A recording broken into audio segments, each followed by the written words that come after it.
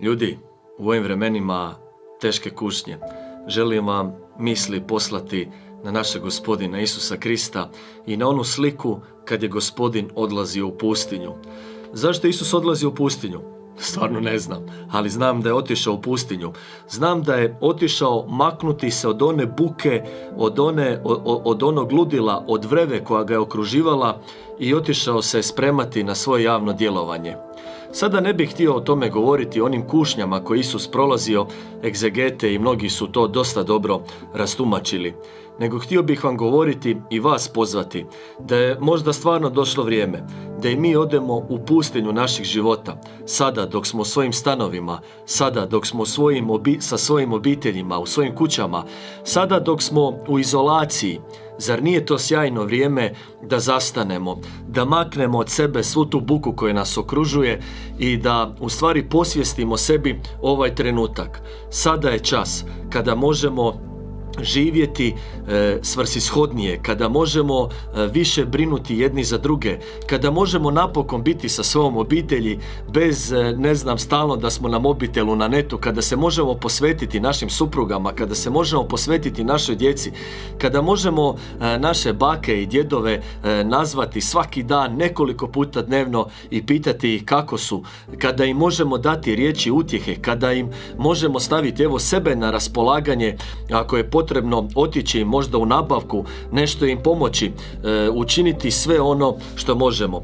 Dragi ljudi, koliko god bila teška situacija, jer je teška i ne smijemo je podcjenjivati i jako je važno da budemo odgovorni, da pazimo na sebe, da pazimo na druge, bitna je još jedna stvar. E, gospodin sigurno ne bi htio da brinemo samo e, za sebe i da svoj fokus usmjerimo. Važno je da se ja spasim, važno je da meni bude dobro. Gospodin bi sigurno htio da razmislimo postoji mogućnosti da se možda i mi stavimo na dispoziciju e, onim centrima koji brinu o našim starima i nemoćnima, e, našim karitasima, e, našem stožeru za civilnu zaštitu i svima ostalima koji ovo teško vrijeme skrbe o onim potrebitima.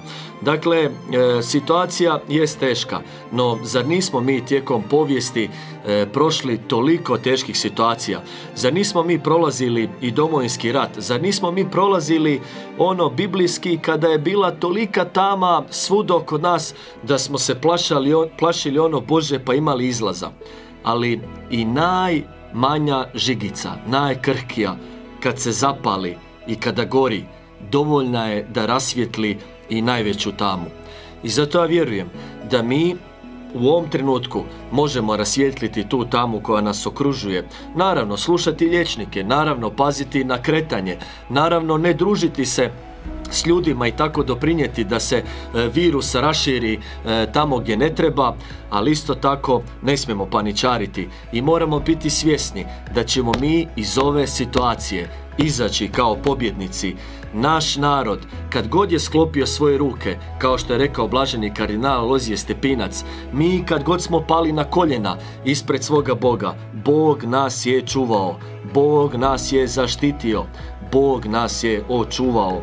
I zato čvrsto vjerujem da ćemo mi iz ove situacije izaći ne samo kao pobjednici, nego kao Hrvati i Hrvatice, kao građani naše zemlje koji će shvatiti koji je smisao života, koji će u stvari sad napokon progledati i reći čovječe toliko puta smo jurili za onim raspadljivim, a zar nije naše srce trebalo žuditi za neraspadljivim?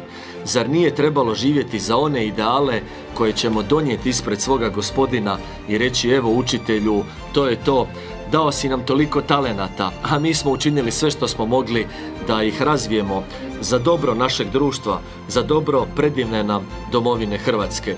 I zato ne brinite se, ne bojte se.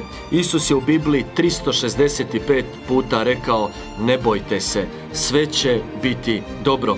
Ufajmo se u svoga Boga, e, stavimo svoje živote u ruke Božije i ja baš vjerujem, dragi moji, bit će sve dobro.